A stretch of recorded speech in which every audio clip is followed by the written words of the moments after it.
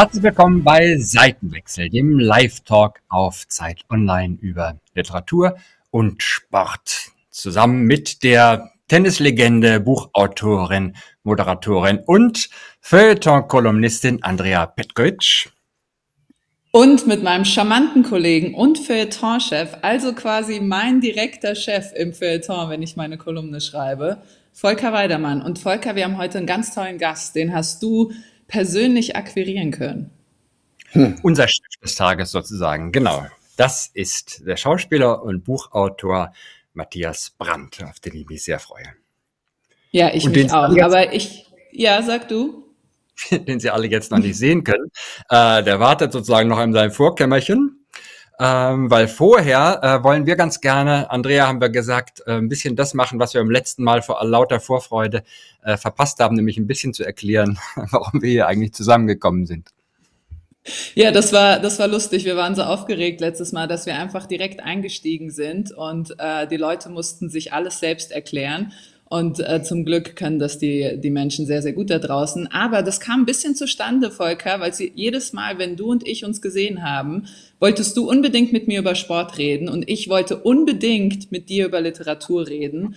Und dann haben wir gesagt, gibt es da eigentlich Gemeinsamkeiten? Was denkst du, gibt es Gemeinsamkeiten zwischen Literatur und Sport? Ähm, naja, das Verbindende äh, und literarisch und sportlich Verbindende oder uns Verbindende ist, liegt hier in diesem Bändchen. Ah, kann man sehen? Äh, in diesem das hast du, glaube ich, erfunden. Und letztlich unser Ur gemeinsamer Urgrund ist ja Darmstadt und der fantastische, beste Fußballverein der Welt, SV Darmstadt 98. Und du hast vor einigen Jahren da dieses Motivationsbändchen äh, miterfunden, zu gedenken an den legendären Film Jonathan Helmes äh, von Darmstadt 98, als wir aufgestiegen sind von der vierten in die erste Liga. Äh, und das ist so ein bisschen unser gemeinsamer Urgrund. Ne? Genau. Zwei Darmstädter, die jetzt sich in die große Welt gewagt haben, nämlich ins Internet. Und du warst damals dieser enorme Fan von äh, David Foster Wallace, vor allem offensichtlich aufgrund seiner Tennisleidenschaft, seiner literarischen. Äh, hat das irgendwie ein bisschen nachgelassen mit der Zeit?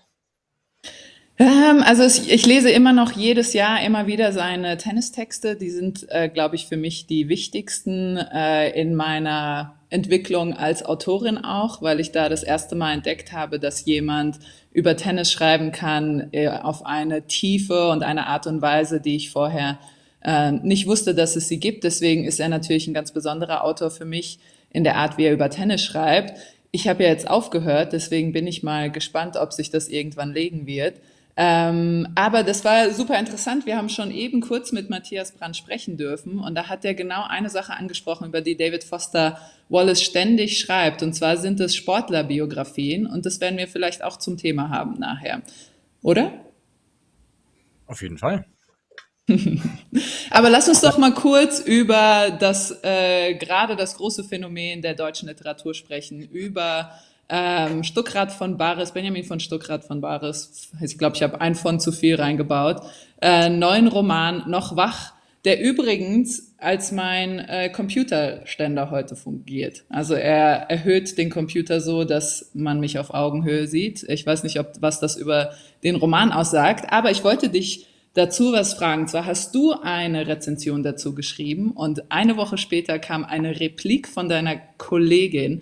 Iris Radisch dazu, die das Ganze ein bisschen anders sah. Und da habe ich mich gefragt als Sportlerin, ist das dann so wie in der Umkleide? Fährt man dann so ein bisschen die Ellenbogen aus, wenn man sich dann sieht in den Redaktionsräumen und schubst sich dann so gegenseitig weg? Oder ist man da schon viel weiter als bei uns im Sport?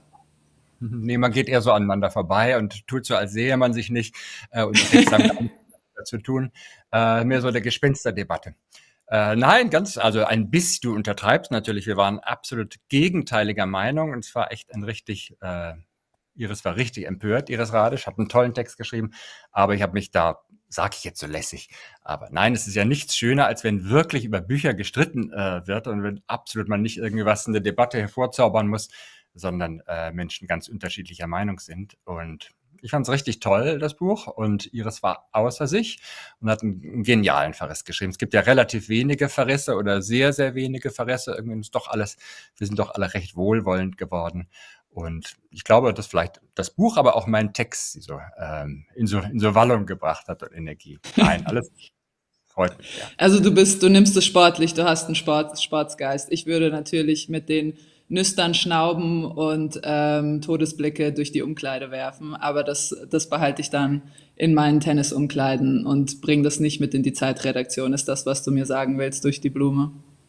Äh, ein bisschen dachte ich schon, dafür bin ich doch jetzt nicht Chef geworden, um hier Widerspruch zu die Zeitung zu äh, Aber ähm, nein, ähm, ich habe schon überlegt, nochmal wieder zu antworten, aber nein, ich bin jetzt still. Lass uns doch mal sanft, wir können jetzt mit einem, mit Hilfe eines Buches ganz sanft zu unserem Gast überleiten, denn ein altes mhm. Buch, 60 Jahre alt, mein Name sei Gantenbein, und du hast es vor einer Weile äh, aus irgendwelchen Gründen äh, an, zu lesen angefangen. Genau, ich habe wie wahrscheinlich viele die den Briefwechsel zwischen Max Frisch und Ingeborg Bachmann über Weihnachten gelesen. Ich glaube, es kam irgendwann vor Weihnachten raus und äh, das habe ich dann, es sind ja fast 800, 900 Seiten, glaube ich, das habe ich gelesen. Daraufhin habe ich mir alle Bücher von Ingeborg Bachmann und alle Bücher von Max Frisch, die ich noch nicht besaß, bestellt und war dann sozusagen in meiner Ingeborg Bachmann Max Frisch Phase und ähm, die meisten Bücher, muss ich sagen, kannte ich schon, außer mein Name sei Gantenbein und jetzt wirst du die ganz elegante Überleitung zu unserem heutigen Gast Matthias Brandt vollführen können. Warum ist das relevant für heute? Das fragen wir ihn gleich, wer dann endlich hinzugerufen wird. Auf jeden Fall hat niemand, glaube ich, so intensiv diese 900 Seiten Briefwechsel gelesen wie er, denn er war Max Frisch beim Einlesen äh, dieses Buches und damit jetzt wirklich endlich Vorhang auf für den Mann, der schon vor seinem äh, Bücherregal wartet. Ich freue mich sehr. Herzlich willkommen, Matthias Brandt. Hallo, freut mich. Imaginärer Applaus des Publikums. Ich kann ihn sehen, der ist mehr als imaginär. Schön, dass Sie da sind. Und bevor wir jetzt über Max Frisch und äh, Gantenbein sprechen, stelle ich Sie ganz offiziell vor mit einem Lebenslauf, in dem ein winzig kleiner Fehler versteckt ist und Sie selbst müssen den Fehler in Ihrem Leben finden. Das ist irgendwie, glaube ich, schon. Ja, okay. Das, glaube ich, führt schon ein bisschen zu Max Frisch, glaube ich, hin, dem großen äh, Erfinder von ganz anderen Leben als seines eigenen. Okay. Geht schon los. In West-Berlin kam er am 7. Oktober 1961 auf die Welt. Sein Vater hatte damals dort beruflich zu tun. Seine Mutter Ruth nannte sich eine geborene Sozialistin. Sein Vater war regierender Bürgermeister. Das prägende Ereignis im Jahr 1969 war für den Sohn die Mondlandung, für den Vater die Wahl zum deutschen Bundeskanzler. Die Eltern wollten, dass ihr Sohn Journalist wird. Er wurde Schauspieler. Er war fast 20 Jahre lang an deutschen Stadttheatern beschäftigt seinen ersten großen Filmerfolg feierte er in der Rolle des Spions Günter Guillaume, dessen Enttarnung in der Wirklichkeit zum Sturz seines Vaters geführt hatte. Matthias Brandt hat ziemlich viele Grimme-Preise gewonnen. Der Torwart Wolfgang Kleff war sein erstes Role Model. Er war der Fernsehkommissar Hans von Meufels. Er hat die fantastischen Bücher Raumpatrouille und Blackbird geschrieben. Und im Moment kann man ihn als Gantenbein, einsam auf Theaterbühnen und als Verleger in Christian Petzolds Roter Himmel auf der Leinwand sehen. Und jetzt hier bei uns Matthias Brandt. Also? Ich soll, ich, soll, ich soll den Fehler benennen. Ja. Äh, Sie haben gesagt, dass meine Eltern wollten, dass ich Journalist werde. Das ist, ja. äh, äh, das ist natürlich Unsinn. Wobei meine, meine Eltern ja selber beide Journalisten waren und auch immer, äh, als man noch einen Beruf im Pass stehen hatte, dort ähm, Journalist stehen hatten. Aber meine mhm. Eltern hatten, äh, haben mir überhaupt keine Vorschriften gemacht, was äh, für einen Beruf ich zu ergreifen hätte. Sie wollten ja. nur, dass Sie auf keinen Fall Journalist werden. Alles andere war erlaubt. Ja, ach nee, wenn ich, also ich, ich selbst wenn äh, denen das nicht gefallen hätte, hätte ich es halt trotzdem gemacht. Aber ähm, nee, ich, also da, da waren die sehr, sehr, sehr frei und sehr offen und haben uns total laufen lassen. Äh, ist das denn der Fehler? Ha, genau. Gewesen? Unglaublich, okay. wie gut sie leben können. Ja, Wahnsinn, ja. oder? Hm. In den offiziellen Biografien steht, dass die Eltern Jurist vorgesehen hätten, aber das kann natürlich auch eine Erfindung gewesen sein. Nee, das haben nicht die Eltern vorgesehen, sondern ich habe tatsächlich, ähm, ich habe ein, ein äh, Jurastudium begonnen. Da bin ich aber, glaube ich, nur dreimal hingegangen, weil ich mir vollkommen falsche Vorstellungen gemacht hatte davon. Ich habe, äh, und zwar, ich liebte als Kind eine Fernsehserie, die hieß Anwalt der Gerechtigkeit. Und äh, und äh, die fing an mit so einer mit so einer äh, relativ pompösen Musik und jemand ging so die Stufen hoch zum Kapitol, glaube ich, und und hat äh, hat alle Ungerechtigkeiten beseitigt der Welt. Und das, so diese Art schwer, schwebte mir vor und das war aber ich bin, glaube ich, für äh, ich war erstens für eine akademische Laufbahn vollkommen ungeeignet und auch für so eine Art von Studium vollkommen ungeeignet. Das habe ich aber sehr schnell eingesehen. Also ich habe dann noch glaube ich, ein halbes Jahr lang so getan, als würde ich das studieren, damit man mich in Ruhe lässt, aber bin halt Kaffee trinken gegangen oder lesen oder irgendwie so. Das war mein, das war meine, meine juristische Ausbildung. Und sonst, Andrea, äh, wir hatten die, das Publikum auch schon im Vorfeld äh, um äh, Fragen gebeten. Unvorsichtigerweise müssen wir feststellen, denn es sind, ich glaube, ungefähr 300 Fragen gekommen und wir können jetzt einfach Sachen packen. Aber ein paar, so zwei, drei, können wir für den Anfang vielleicht einfach äh, mitgeben mit der Bitte um eine kurze Antwort. Matthias. Breit. Ja, soll ich anfangen? Ich habe nämlich eine super tolle Frage gehabt und zwar von, ja. oder habe ich mir ausgesucht, ähm, und zwar von Anja Bethun aus Hamburg und sie fragt, Herr Brandt, welche Sportlegende würden Sie gerne einmal in einem Film oder im Theater spielen? Ich, also, ähm, naja, also da, da könnte man jetzt verschiedene Haltungen zu einnehmen. Erstens, dass ich ja im Grunde wahrscheinlich auch schon ein bisschen aus dem Alter raus bin, wo ich unbedingt irgendwelche Sportlegenden darstellen sollte. Aber es gibt natürlich schon, es gibt natürlich extrem äh, interessante Biografien. Ich habe aber äh, interessant, ich finde, ich mag die Frage äh, aus mehrerlei Gründen, weil mich, das hat mich nie so wahnsinnig interessiert, äh, mhm. bis auf ganz wenige Fälle, wo ich das mal gemacht habe, äh, wie soll ich sagen, ein, ein, ein, eine reale Figur äh, mhm. äh, abzubilden. Aber ähm, so, also insofern würde mein, ich, ich, ich lese gerne ich, äh, Biografien über diese Menschen und so, aber, aber zum Sp nee, Spielen würde ich, fiele mir jetzt auf Anhieb niemand ein. Okay. Vielleicht könnte man ja wie bei Martin Scorsese mit ähm, Robert De Niro in The Irishman, könnte man sie per CGI wieder zurückverjüngen. Das ginge ja. Also es ist nicht so unmöglich genau. heutzutage. Mit 120 Millionen Euro von Netflix geht auch das. Ja, also auf jeden Fall wäre mir CGI dann lieber als Robert De Niro in, in Raging Bull, der, glaube ich, irgendwie 40 Kilo zu und wieder abgenommen hat. Ja. ja, dann machen wir CGI. Wir kriegen die 120 zusammen. Okay, ich entscheide mich für CGI. Äh, ja? CGI. Mhm. Und aus Raumpatrouille äh, weiß ich, was natürlich ein literarisches Werk ist, aber sicherlich viel mit Ihnen zu tun hat, dass so am Anfang Ihrer Schauspielidee viel mit Fußball auch zu tun hatte, nämlich dass sie einmal in die Rolle von Wolfgang Kleff, äh, den ich eben schon äh, bemerkte, äh, geschlüpft sind. Beziehungsweise nicht in die Rolle leider, das war das Schade, das Traurige, sondern in seine Verkleidung. Ja, ja, ja. Also ich, das war ja äh, in der, in der alten Bundesrepublik, in der ich aufgewachsen bin, gab es ja immer, das war ja ein duales System, wenn man so will. Also als Fußballer, äh, als Fußballfan hat, musste man sich entscheiden zwischen Bayern und Gladbach. Man musste entscheiden, ob man einen Pelikanfüller oder einen GH-Füller hat. Dann gab es äh, so, ob, dann gab es ARD und ZDF und DDR und BRD und es waren immer so zwei. Ich, ich war Gladbach-Fan und ähm, ich bin war zwischenzeitlich mal Torwart und äh, irgendwie auch gar nicht so schlecht und wurde dann, es gab für mich einen nahezu traumatischen Moment, als ich äh, dachte, weil ich ein paar gute Spiele gemacht habe, ich stehe jetzt vor einer wirklich großen Karriere, ähm, dass ich mir so eine, so eine komplette Ausrüstung gekauft habe. Das war damals die, der Torwartpullover Wolfgang Kleff unter anderem.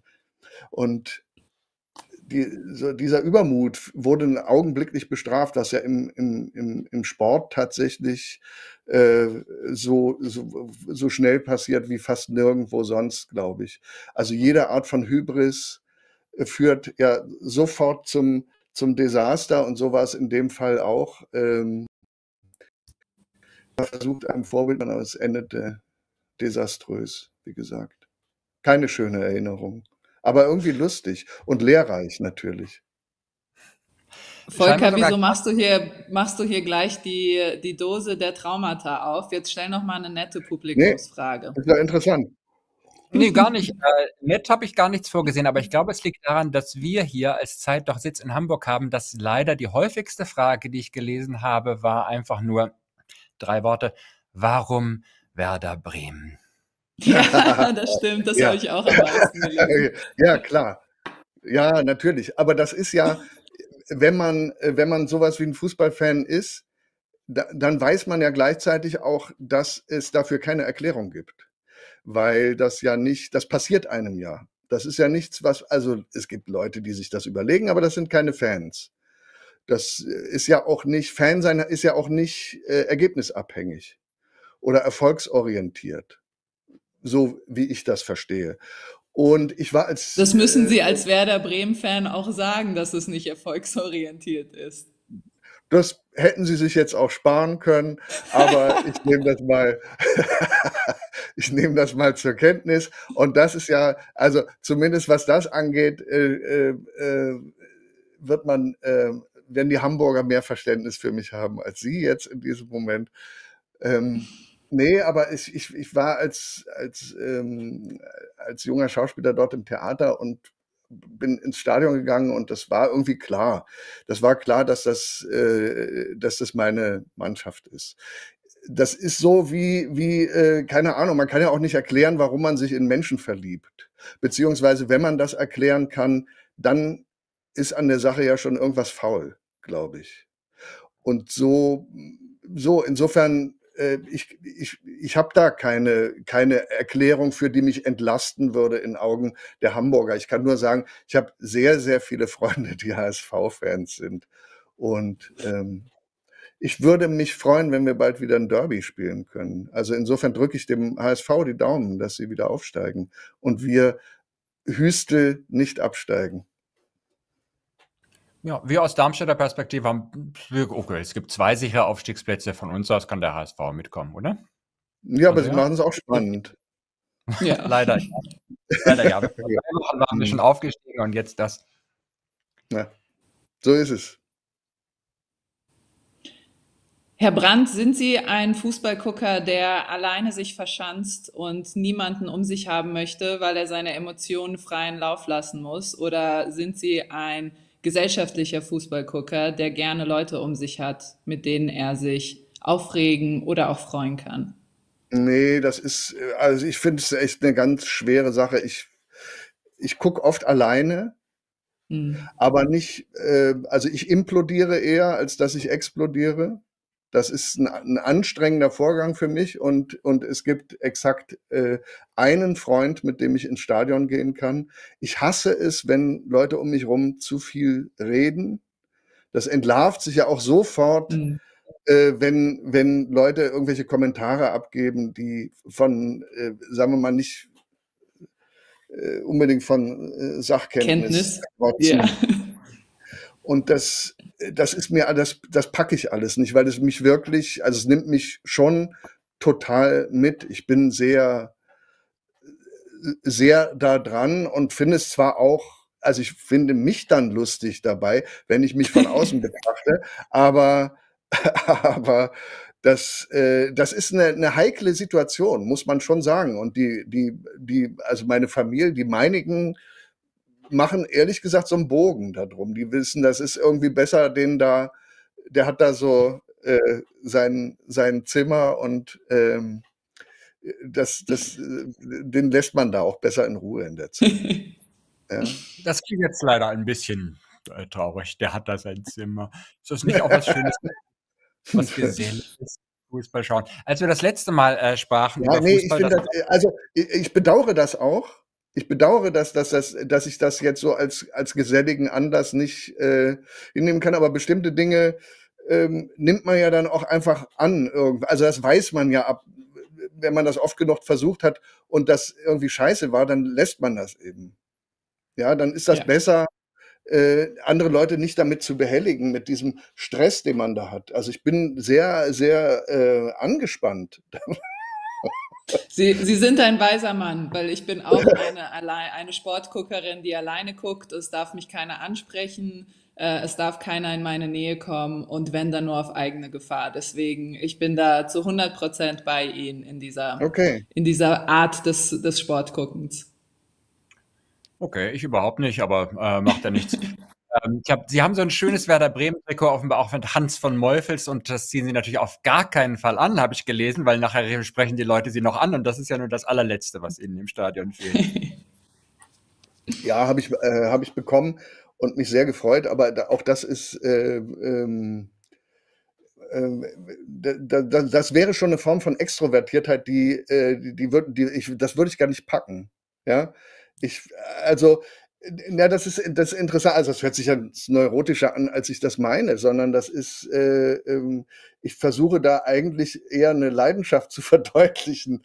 Das ist so, äh, dass, dass der, der Vorgang ist gar nicht so unähnlich dem, ähm, wie es mir im Theater geht in so einem Stadion. Also ich glaube, es wird sicher auch ein Thema sein für uns jetzt, dass, dass es, ich, ich, ich glaube, es gibt viele Parallelen und ich finde, äh, das, das ist so ein komischer Zwischenzustand, wenn ich ins Stadion gehe, was nicht so wahnsinnig oft ist, muss ich sagen, weil ich nämlich mhm. gleichzeitig, ähm, also man möchte gleichzeitig einwirken, teilhaben. Das ist, das denkt man ja als, man denkt ja als Zuschauer im Stadion, man könne mhm. das beeinflussen. Ich auf jeden Fall. Telepathisch. naja, ich, ich weiß auch, dass das schon zweimal funktioniert hat. Tatsächlich. Ich bin mir Insofern, sicher, ich, äh, ich stelle das überhaupt nicht in Abrede.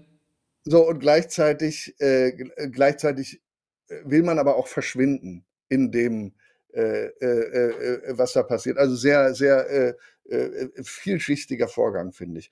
Und so ein, so ein, so ein, das, das würde mich schon, das wäre mir schon zu viel, mich da, mich da zu kostümieren und so. Aber das ist super interessant. Ja. Das ganz kurz mal aus deiner Perspektive. Ich äh, von Matthias Brandt kenne ich das. Sie waren Teil von 30.000, glaube ich, beim Pokalfinale. Den Sieg gegen Bayern München, glaube ich, wurde den Sie telepathisch mit errungen haben. Aber aus der Sicht der Sportler würde mich das auch wirklich mal interessieren. Ist das wirklich, also natürlich spürt man das Publikum, aber gibt es wirklich so eine magische Verbindung, sagen, die bringen mich heute zum, zum Sieg?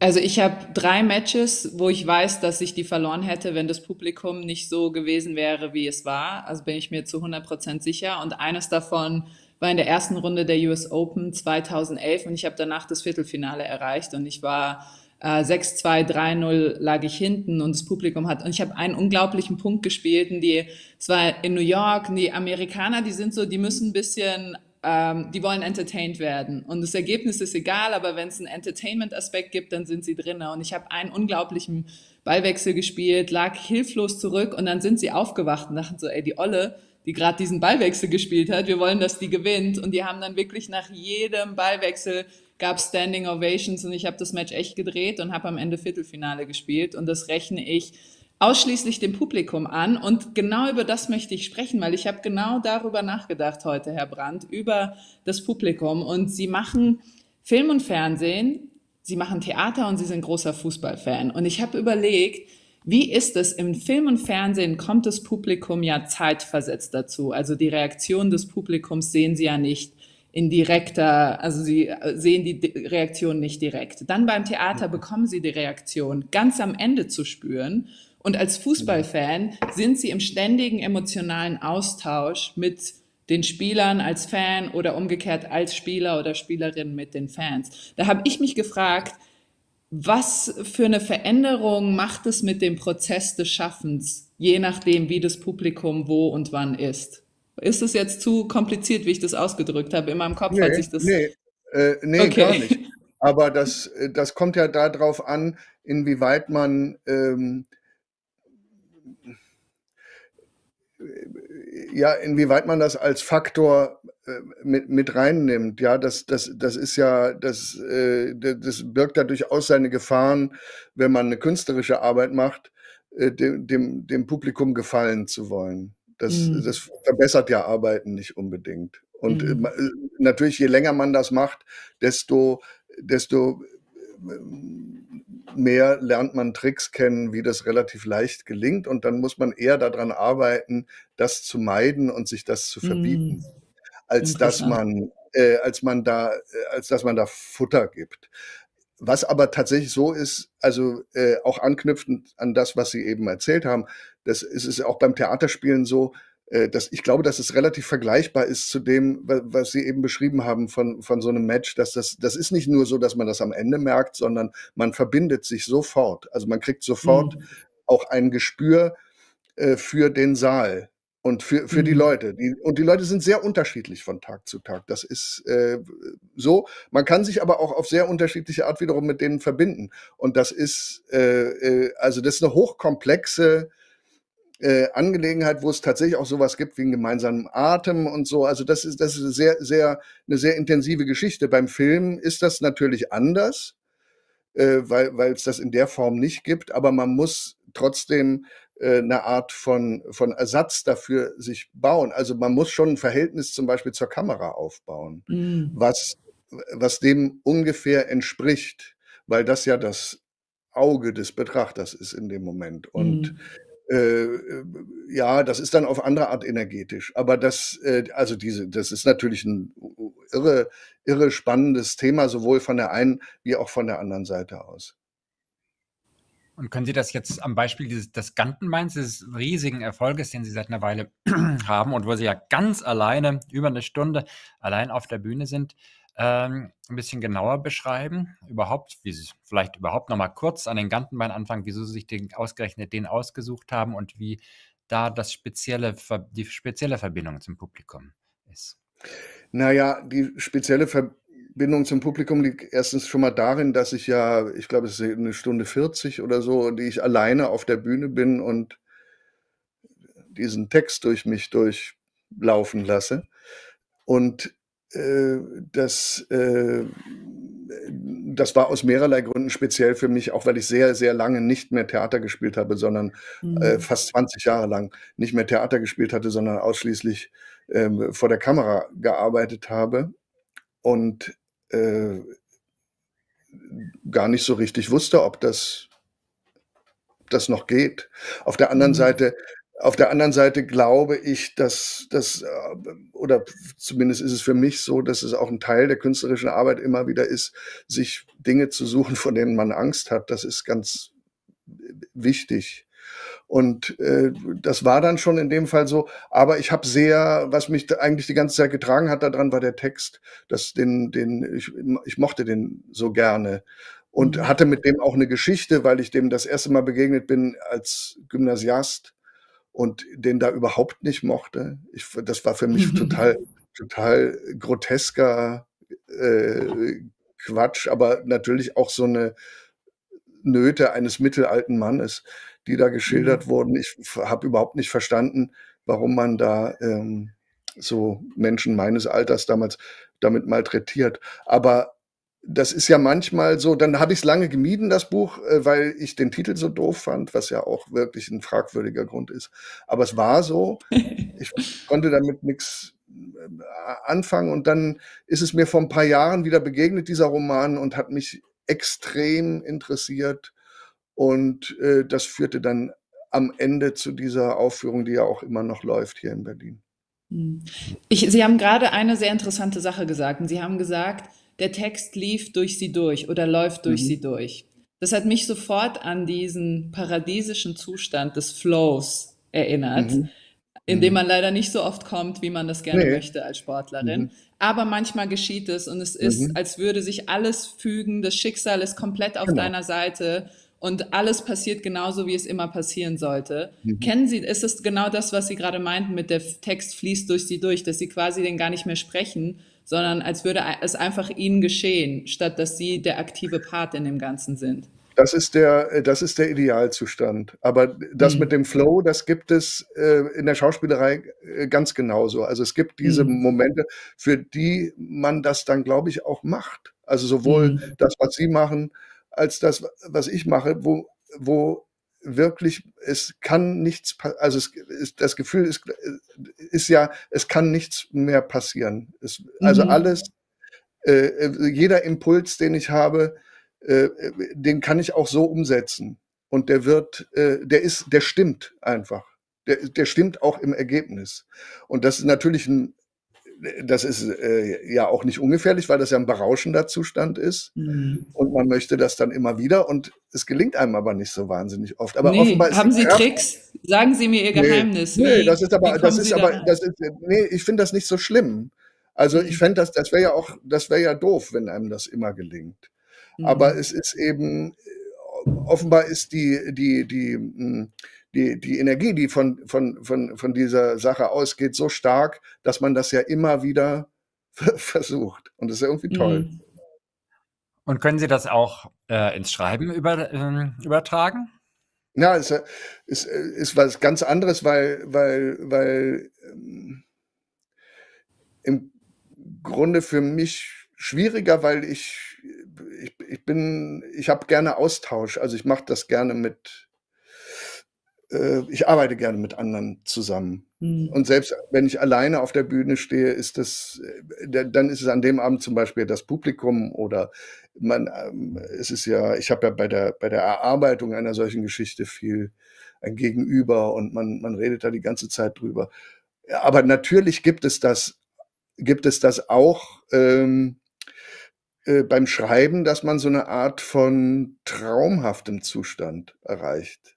Mhm. Also das ist, dann wird's ja überhaupt, dann, dann wird's ja, dann wird's ja richtig spannend, wenn man, wenn man erzählt und im Erzählen so eine, so, so eine, ja, im besten Fall sind Erzählungen wie Träume, glaube ich. Mhm. Das, und die, die, ähm, die erzählen sich ja auch von selbst. Also sind wir im Grunde auch wieder an dem Punkt, wo man sagt, dass, dass, dass ähm, das ist der Idealzustand. Man erreicht den nicht so oft, aber selbst wenn man ihn nur selten erreicht, ist er, ist er, lohnt es sich.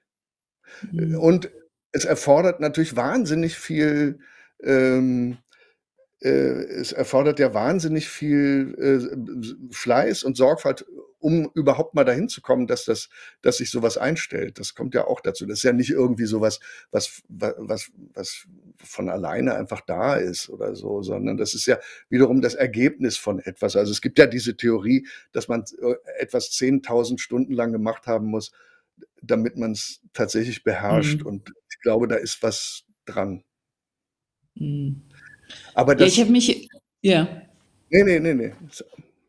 Ich habe mich gefragt, als ich Ihre Texte gelesen habe, äh, und da bin ich sehr gespannt, was Sie, was Sie darauf antworten, die übrigens ganz fantastisch sind. Ähm, ob Sie Dankeschön. die Erzählung als Film vor Ihrem inneren Auge sehen oder ob Sie ihn oder ob Sie die Erzählung als Text oder als Wort vor Ihrem inneren Auge sehen.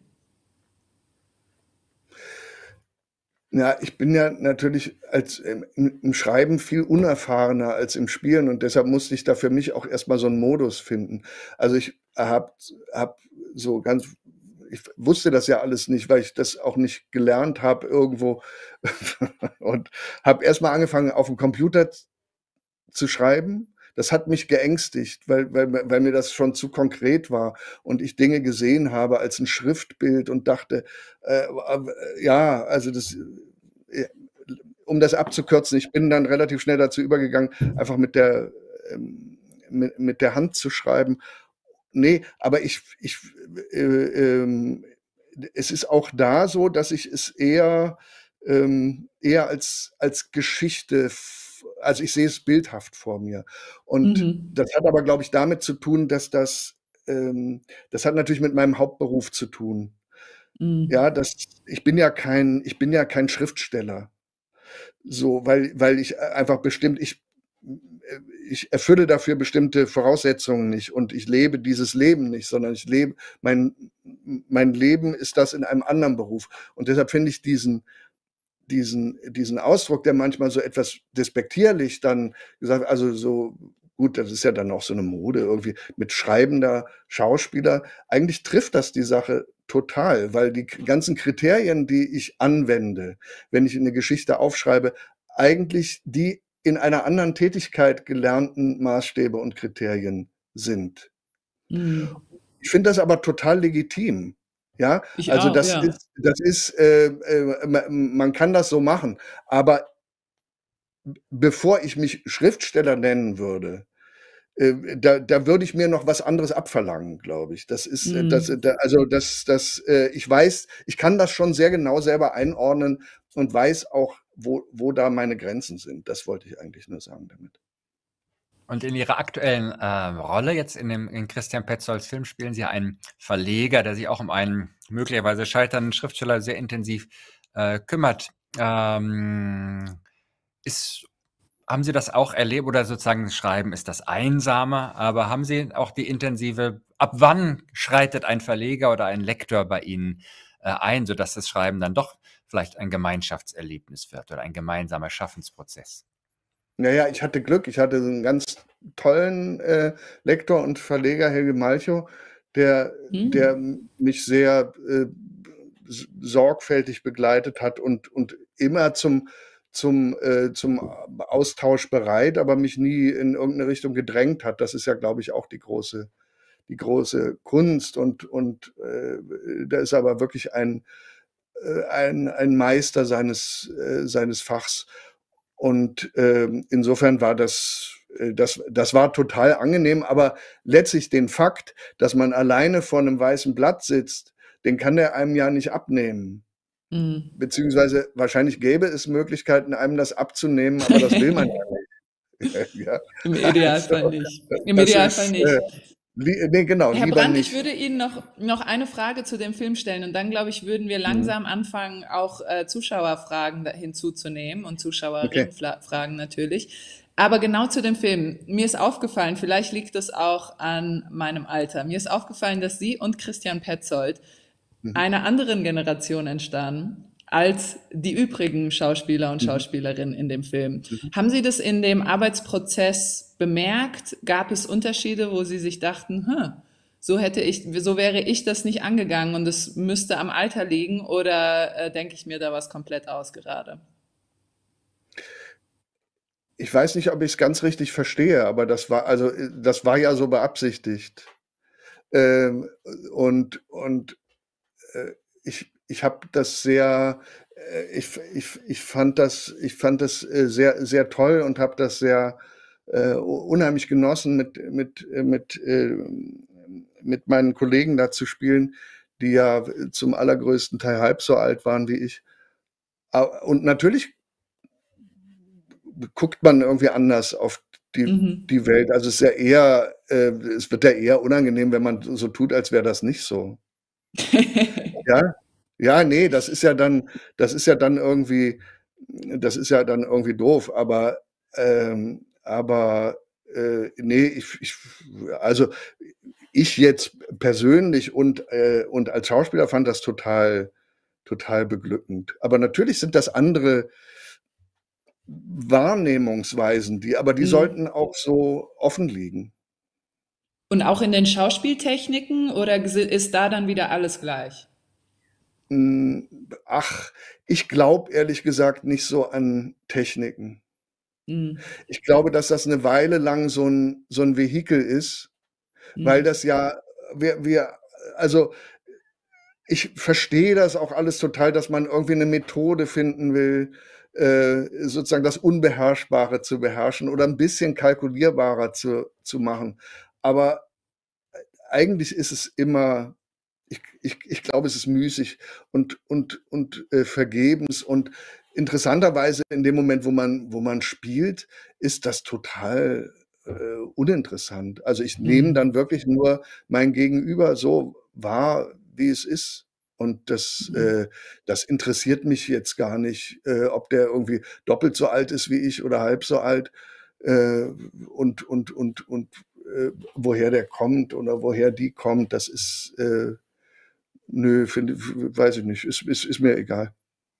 Ich glaube oder, ähm, das ist so ein tolles, tolles Gefühl, das ich immer habe, wenn ich sie als Schauspieler sehe. Es gibt kenne kaum einen anderen Schauspieler, der sehr so sehr in sich zu ruhen scheint und so, äh, wenig sich anstrengen muss scheinbar. Ich hoffe, das klingt jetzt nicht negativ sozusagen, um sozusagen in diese äh, diese Rolle zu spielen. Äh, das äh, natürlich am auffälligsten und am populärsten an ihrem äh, Fernsehkommissar, den sie gespielt haben, aber jetzt auch in den letzten äh, Rollen in den äh, Filmen. Das ist unglaublich. Und auch sie jetzt ja, hier im Gespräch zu erleben, das ist einfach, sie wirken einfach so au auf so außerordentliche Weise in sich ruhend, authentisch und direkt. Das ist, glaube ich, der Kern ihrer Kunst. Das freut mich total, aber ich glaube, dass das natürlich auch das, äh, also ich, ich bin jetzt, in, ich bin nicht so ein Fan der, der, der Selbstreflexion oder Analyse, was das angeht, weil ich, ähm, äh, weil, weil ich glaube, dass das den, äh, den, den Träumen schadet, die man, äh, äh, die man ja haben muss und, und erzählen will. Aber das das ist natürlich auch das Ergebnis äh, einer, einer Entwicklung oder eines Weges, den man, den man geht und der irgendwie mit, ja, dann natürlich schon, glaube ich, auch mit Aufrichtigkeit sich selbst gegenüber äh, zusammenhängt. Und mhm. das ist ja nicht so, dass, dass das von Anfang an so gewesen wäre oder so. Ich bin in diesen Beruf reingekommen, ähm, ohne viel darüber zu wissen. Das muss man ja auch sagen. Ich habe weder groß Schultheater gespielt oder so. Es, es war eine völlige Spekulation. Ich habe irgendwie gedacht, es wäre weil mir, ich, in gewisser Weise bin ich auch Schauspieler geworden, weil ich nicht wusste, was ich sonst werden will oder oder oder dachte ja, das ist äh, da, da muss man da muss man nicht nicht so richtig studieren oder so und ähm, und dann hat man natürlich irgendwann den Salat. Dann kommt natürlich noch mal so und dann macht man das eine Weile und dann kommt natürlich irgendwann noch mal der Punkt, wo man sagt, oh, jetzt ist das, weil jetzt wird's echt ernst. Ne? Jetzt wirst, jetzt mhm. bist du das und wirst das bleiben. Und das war, da gab es Phasen, die waren die leichter und andere waren sehr schwer für mich, weil, weil, weil, weil das mir, also ich bin nicht äh, von Natur aus jemand, den es auf eine Bühne drängt. Und mhm. äh, für mich war das immer auch mit, mit, mit, äh, mit Ängsten und Unsicherheiten verbunden. Und es ist bis heute so natürlich, dass ich nicht, ich stürme dann nicht auf die Bühne, wenn ich so einen Abend äh, zu bewältigen habe, sondern ich stehe immer eine Minute vorher hinter der Bühne und denke, nee, nee, ich, ich gehe jetzt wieder nach Hause. Das ist ja, das ist ja irgendwie völliger Irrsinn hier. Das, äh, äh, äh, was, was, was ist denn das für ein, äh, für ein Vorhaben? Ja, aber ich glaube, dass das, äh, dass das, äh, dass, dass, dass das aus diesem Spannungsverhältnis tatsächlich äh, dann entsteht, das, was man macht. Das kann natürlich auch interessant sein. Also dieses mhm. gleichzeitig, gleichzeitig sich zeigen wollen und verschwinden wollen. Ich glaube, wenn ich es mhm. ganz kurz ja. benennen sollte, das, das ist irgendwie das, das, das Spannungsverhältnis, in dem sich mal das, was ich tue, abspielt. Ja, das, das ist wirklich super interessant. Wir haben jetzt auch eine Frage aus dem Publikum. Sie sehen sich wahrscheinlich schon groß eingeblendet. Stellen Sie sich mhm. kurz vor und sagen Sie, woher Sie kommen und dann schießen Sie los. Und äh, wir sind hier ja nicht so die investigativen Fragen, also müssen Sie das übernehmen. Wir sind zu lieb gewesen. Sie können jetzt richtig streng sein. Mhm. Lautschall. Können Sie mich hören? Ja. Ja, ja wunderbar. Mein Name ist Gerda Maybach, ich komme aus Düsseldorf. Eine Hallo. Frage oder zwei Fragen. Hallo, Matthias Brandt und Volker Weidermann und Frau Petrovic. Ja, ähm, eine Frage oder zwei Fragen, ganz kurz. Eine. Eine lange oder zwei gut. ganz schnelle? zwei, okay. Hm. Na gut, dann äh, leider die lange. Matthias Brandt, ich möchte mich vorab schon mal entschuldigen für meine Frage, stelle sie dennoch. Sie sind ja der berühmte Sohn eines ebenfalls berühmten Vaters. War diese Tatsache in Ihrem Leben äh, oder schränken wir ein auf dem Weg in Ihren Beruf, Ihre Karriere für Sie jemals eine Beeinträchtigung oder auch ein Vorteil? Also man ist ja der, der man ist.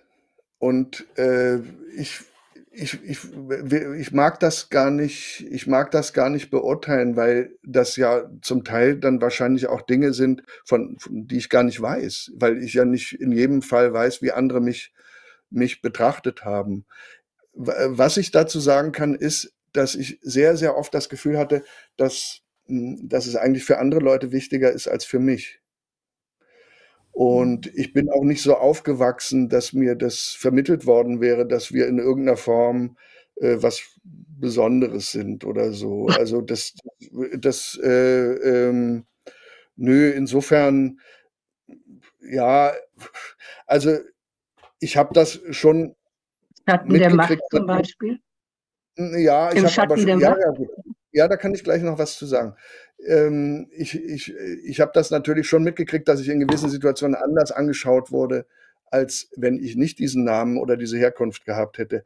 Aber äh, das war dann eben die Aufgabe, die mir gestellt worden ist. Und äh, also ganz im Ernst, wenn man so äh, dann irgendwie zwei Stunden auf der Bühne steht, dann ist das ja vielleicht die ersten zehn Minuten interessant. Aber dann bleiben ja noch eine Stunde 50 Minuten übrig. Die muss man ja irgendwie, da muss ja auch noch was passieren. Also insofern, ich fand es dann immer nicht so. Schatten der Macht, ähm, äh, ja, das war irgendwie so eine äh, ne, ne, ne wahnwitzige Unternehmung. Ich fand es, ich kann Ihnen sagen, was ich an diesem Film, äh, was für mich super interessant war daran. Äh, ich habe das deshalb diese Rolle angenommen in einem Film, in dem ja etwas dargestellt wird, was gezeigt wird, was ich als Kind selber erlebt hatte. Und ich habe gedacht, im Grunde ist das eine Situation, die ja fast kein Schauspieler auf der Welt jemals erlebt hat oder nochmals erlebt. Wir haben ja sogar gedreht in dem Haus, in dem ich als Kind selber aufgewachsen bin. Und äh, ich fand das ganz toll. Meine eigene Rolle, das fand ich eigentlich, das war eher unspektakulär und ich wusste so ungefähr, wie das geht und so. Aber das, das fand ich jetzt gar nicht das Aufregende daran, sondern ich fand es ganz, ganz toll, Leuten dabei zugucken zu können, wie die sich etwas vorstellen, was ich erlebt hatte. Und ich habe durch diese Fiktionalisierung, also dass, dass Leute das nachgespielt haben, äh, tatsächlich eine Art von Erkenntnisgewinn gehabt, muss ich, äh, muss ich gestehen. Das war, äh, das war ganz toll für mich. Ich kann Ihnen das an einem kleinen Beispiel verdeutlichen. Es ist ja dort äh, von Szenenbildern mein Kinderzimmer nachgebaut worden. Ich hatte mir vorher ausbedungen, dass ich, dass ich äh, keinerlei, ich möchte nicht Berater sein oder so. Ich will nichts gefragt werden, sondern ich möchte, dass ihr das so macht, wie ihr euch das denkt, dass das mhm. gewesen ist. Und, ähm, und dann wollten die mir mein Kinderzimmer zeigen und äh, sind mit mir da hingegangen und ich habe schon auf dem Weg gesehen, die haben sich im Zimmer vertan. Die waren ein Zimmer zu weit rechts. Und dann habe ich gedacht, das ist so, das Zimmer war aber toll gebaut, sah nicht so aus wie meins, aber es hätte meins sein können und das war das Entscheidende daran. Und ich habe gedacht, genau das ist irgendwie so fast sinnbildlich für, für das, was mich an meiner Arbeit so interessiert, dass, ähm, ja, also wie soll ich sagen, das Zimmer daneben. Eigentlich suche ich nach dem Zimmer daneben. War jetzt eine lange Antwort. War auch eine lange Frage, aber das hatten wir ja. erlaubt und wir haben und wir mhm. haben direkt äh, die nächste schon in der Linie und stellen Sie sich auch bitte kurz vor, sagen Sie, woher Sie kommen und dann können Sie Ihre Frage an Matthias Brandt stellen. Ja, moin. Also ich äh, bin Lena Malzahn und ich komme äh, aus Oldenburg bei Bremen und bin auch großer Werder-Fan. Ähm, ich muss vorab aber auch ehrlich gesagt sagen, ich bin auch ein großer Andrea Petkovic-Fan und da wir uns wahrscheinlich sonst nie wiedersehen werden, muss ich auf jeden Fall erstmal meine große Bewunderung an dich. Ich es dich einfach mal, weil ich wünsche, wir wären yeah. Freundinnen. Äh, und ich finde dich absolut inspirierend und ähm, für, meine, für mein Werden als nicht so erfolgreiche Tennisspielerin bist du echt ein krasses Vorbild gewesen, gerade literarisch Danke. jetzt auch. Ähm, ich, war, ich war auch eine nicht so erfolgreiche Tennisspielerin, deswegen finden ja, wir uns da ähm, wieder zusammen. Ich sag mal, bei uns in der dritten Dame ist unser Motto dritte Dame, letzte Liga, letzter Platz und das können wir gut einhalten. Und äh, jetzt zu meiner Frage. Ähm, Herr Brandt, mhm. ich bin, wie mein Nachname es irgendwie auch schon mir in die Wiege gelegt hat, tatsächlich Lehrerin, aber nicht wie die berühmte Frau Malzahn aus Jim Knopf äh, für Mathe, sondern für Deutsch. Und ähm, ich mache das mit all meiner Seele und all meiner Liebe zu diesem Fach und zur Literatur und stelle aber in den Zeiten, die von Digitalisierung geprägt sind, leider immer wieder fest, dass diese Liebe zur Literatur irgendwie einseitig ist. Gerade in den jüngeren Jahrgängen ähm, stelle ich fest, dass Literatur und Lesen und alles, was damit zusammenhängt, gar keinen Stellenwert mehr hat. Und meine Frage geht dahingehend, welchen Wert hat Literatur für junge Leute denn noch und was können wir als als Leute, die diese Literatur lieben, denn machen, um die jungen SchülerInnen da wieder hinzukriegen und sie dafür zu begeistern? Also ich müsste wahrscheinlich die Expertin dafür sein, ähm, aber mhm. gerade in Zeiten, wo auch es einfach einfach ist, in die KI das einzugeben, was ich äh, gerne von Ihnen hören möchte oder was die Literatur für Sie ausdrücken sollte. Und in Zeiten von TikToks fällt mir nichts ein und ich, Sie sind ein kluger Mann, vielleicht haben Sie einen Tipp für mich. Weiß ich nicht. Aber ich glaube, dass das äh, Sie haben natürlich total recht. Die, die haben ja Möglichkeiten und Versuchungen. Wenn wir die, wir, wir hatten es leicht, weil wir die nicht hatten. Und wenn ich in dem Alter, äh, wenn äh, äh, diese Möglichkeiten gehabt hätte, hätte ich wahrscheinlich auch nicht gelesen. Ich, ähm, also ich weiß es nicht. Ich bin, was all das angeht, äh, auf jeden Fall gegen jegliche Art von Zwang. Ich glaube, dass es immer den, den, den, den gegenteiligen Effekt hat. Und ich kann es ja nur, ich habe jetzt eine Tochter, die ist jetzt schon erwachsen, die ist 22, aber da war das, die hat als Kind sehr viel gelesen und dann ging das total weg, weil die mit dem ganzen anderen Quatsch beschäftigt war. Das war dann aber so. Und, und ich hatte mir im Grunde nur vorgenommen, äh, ähm, da keinerlei Bevormundung oder äh, auch nicht so eine blöde Art von Geschmacksbevormundung äh, äh, auszuüben. Also die, ich fand es auch immer ganz wichtig, dass wenn ich, ich finde, es gibt nur einen Unterschied zwischen Lesen und Nicht-Lesen. Das ist schon mal, und äh, dann ist das erstmal nebensächlich, ob mir das gefällt oder, oder, oder nicht. Ich finde allein die Tatsache, dass sie, dass sie das von sich aus betreiben und vielleicht ja auch äh, vielleicht müssen wir auch diesen Begriff äh, weiter fassen, als wir den erlebt haben. Ähm, das, das, aber das kann ich nicht so richtig überblicken. Aber ich, ich, äh, nö, wenn ich ein Rezept hätte, dann wäre ich ja, wer weiß, was ich dann wäre. Lehrer. Ja, oder wenn ich, ich das kurz, ja, Lehrer, genau. Ich das kurz ergänzen darf, so der Satz, den Sie, Frau Malzahn, äh, sagten, KI sagt das, was wir hören wollen. Äh, das war jetzt bestimmt nur so dahingesagt, aber das ist ja sonst oft Kern dessen, was am Deutschunterricht auch damals schon verstörte, dass Literatur irgendwie so was Geheimnisvolles ist, wo man etwas, ein Rätsel herausholen muss, das aus nicht nachvollziehbaren Gründen der Autor hineingelegt hat und wir müssen das dann nach einer vorgelegten Formel dann äh, herausschreiben. aber die Literatur ist eben das Freie. Und das ist wahnsinnig schwer, glaube ich, mhm. im Deutschunterricht das äh, wiederzugeben, dass man mit dem Buch alles anfangen kann, aber auf keinen Fall irgendwie eine Antwort darauf geben kann, die jemand anders äh, gegeben hat, man diese Freiheit vermitteln kann, ist, glaube ich, leichter gesagt als getan. Viel gewonnen. Mhm. Und das ist schon das nächste. Wohnzimmer leuchtet irgendwie uns in, in unseren äh, Call. Mhm. Ganz herzlich willkommen auch Ihnen. Wenn Sie kurz äh, sagen, wer Sie sind, woher Sie kommen und eine kurze Frage an Matthias Brandt. Ja, schönen guten Abend, Herr Brandt, und hallo an das Moderatorenteam. Mein Name hallo. ist Arndt Vogel, ich komme aus Thüringen und äh, ich hätte viele Fragen zu meiner Vorrednerin äh, nur noch ergänzen. Ich war auf der Leipziger Buchmesse, da waren jede Menge junge Leute äh, zu sehen, hat mich sehr gefreut. Und äh, die Angst des Schauspielers, äh, da gibt es auch eine sehr äh, interessante äh, Biografie von Christian Redel, gerade Autobiografie, der das sehr äh, nachhaltig beschreibt, äh, die Zeit kurz vor der Bühne. Ich habe eine äh, ganz einfache Frage, Herr Brandt wie lesen Sie? Das heißt, äh, Hintergrund der Frage, lesen Sie äh, schon gedanklich, so würde ich das sprechen, so könnte ich das spielen, so würde ich es auf der Bühne bringen, so würde ich es im Film bringen? Oder sind Sie so entspannt, dass Sie, Sie lesen ja gerne, haben Sie vorhin gesagt, dass äh, gar nicht, äh, dass es für Sie gar keine Rolle spielt? Äh, kommt drauf an, würde ich sagen. Das, das ist natürlich, wenn ich weiß, dass das, was ich lese, in irgendeiner Weise äh, mit einer, mit einer ähm, beruflichen Geschichte im Zusammenhang steht, lese ich anders, als wenn ich äh, einfach so lese, weil ich gerne lesen möchte. Das sind unterschiedliche Aggregatzustände.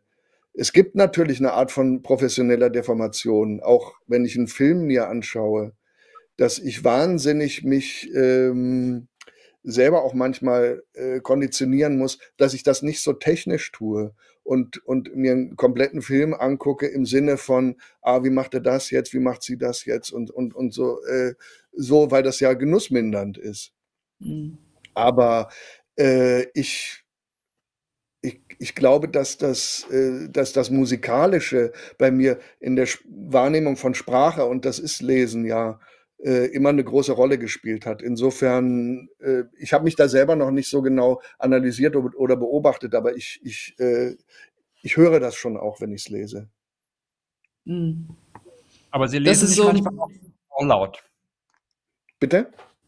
Sie lesen dich manchmal auch laut. Sie haben nicht nur ein Fernsehzimmer, sondern auch so ein Lesezimmer, wo Sie dann so laut vor sich hin lesen? Ich, ich, mir, ich mir selber dek deklamierend im Ohrensessel. Ja, so ja? halblaut, weiß ich nicht. Wenn Sie sagen, dass die Melodie ist so, äh, so wichtig, dachte ich, vielleicht sagt man so, liest man so Ja, aber das, nee, ich höre, also das, das muss ich dann nicht, weil ich höre das schon im Kopf auch.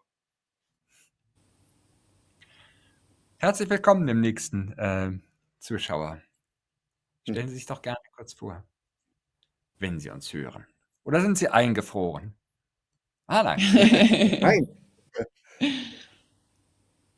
Wir Aber Sie sind Sie äh, stumm gestellt. Sie müssen sich kurz ja. entstummen. Heißt das so? Entstummen? Entmuten? Äh, hören ja. Sie mich jetzt?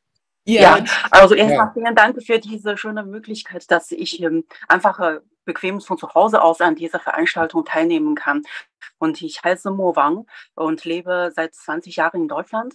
Und ähm, ich äh, hätte eine Frage an Herrn Brandt, und zwar mhm. äh, bezüglich Ihres Buchs Blackbird.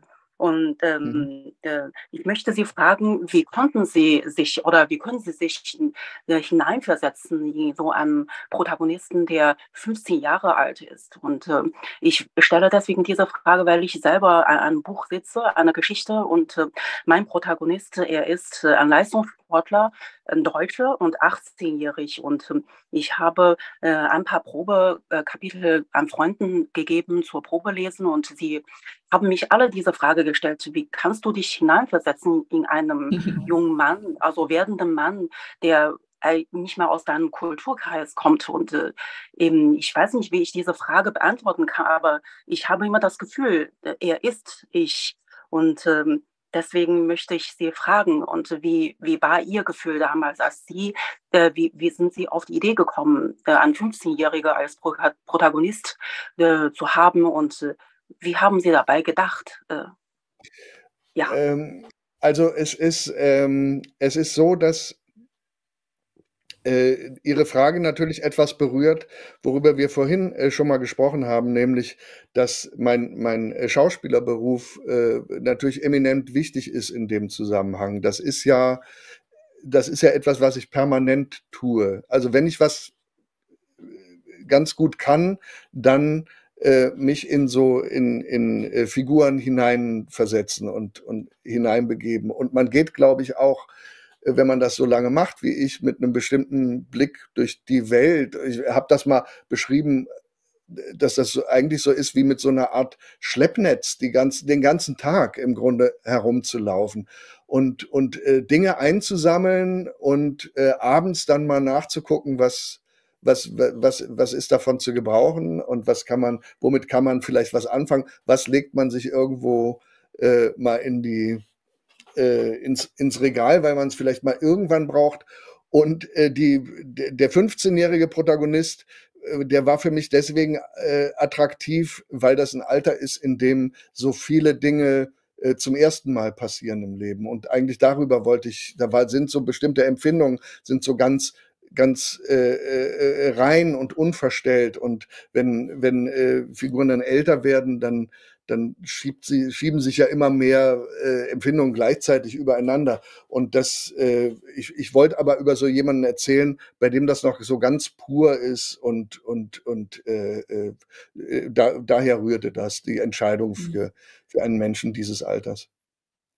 Ich glaube, Mo Wang hatte gehofft, sie geben ihr eine Antwort, die sie einfach copy und pasten kann und an ihre Freunde schicken kann. Aber ja, dass die Antwort richtig. anfängt mit mein Schauspielerberuf hat mir geholfen, hilft ja, dir vielleicht verdammt. nicht so sehr. Wir haben noch eine letzte Frage aus dem hm. Publikum, bevor wir dann in die Aftershow-Party übergehen, die dann exklusiv für die Zoom-Teilnehmenden äh, bestimmt ist. Und da können Sie natürlich weiterhin Ihre Fragen stellen. Aber das hier ist die letzte Frage, die noch für alle auch im Livestream zu sehen sein wird. Bitte stellen Sie sich kurz vor und äh, sagen Sie, wo Sie herkommen. Und dann stellen Sie Ihre Frage, die letzte des Livestreams, an Matthias Brandt. Mhm.